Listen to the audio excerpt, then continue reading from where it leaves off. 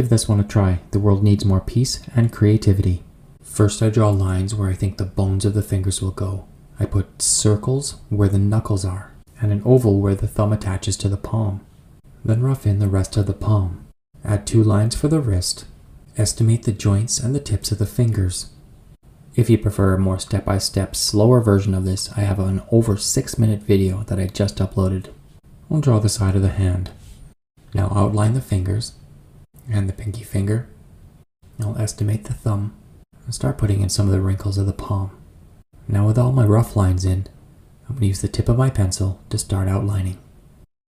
Most of the shading's on the left side and under the thumb. I'm going to add a shadow under the pinky and color the whole thing in.